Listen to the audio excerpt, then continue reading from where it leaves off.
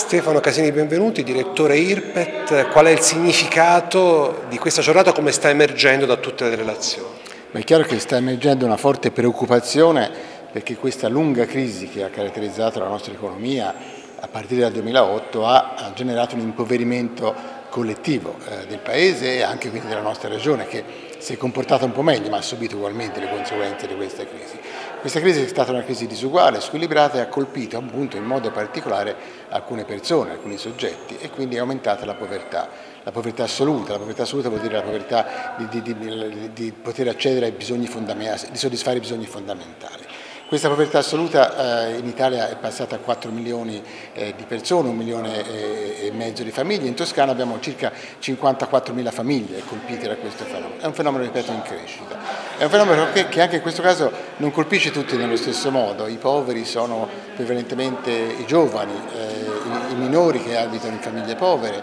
e quindi sono un fenomeno che ha una, una doppia preoccupazione, appunto quello di essere poveri ma anche quello di rimanere poveri perché eh, eh, diminuiscono le possibilità dei giovani ad esempio di poter accedere a una informazione adeguata e quindi a poter entrare nel mercato del lavoro con redditi più elevati. Quindi è un fenomeno che eh, preoccupa fortemente per il presente e per il futuro. L'iniziativa della giornata è volta quindi a costruire un, un intervento possibile per combattere la povertà Combattere la povertà è importante da tanti punti di vista. Il primo è quello eh, giustizia sociale, l'abbiamo detto prima, i poveri soffrono e si trasmette la povertà anche nei, nei, nei più giovani. Il secondo è economico. Sostenere redditi dei poveri vuol dire sostenere la, la, i loro consumi e siccome siamo in un paese in cui manca la domanda interna, sostenere i poveri vuol dire sostenere la domanda interna e quindi favorire anche la crescita dell'economia.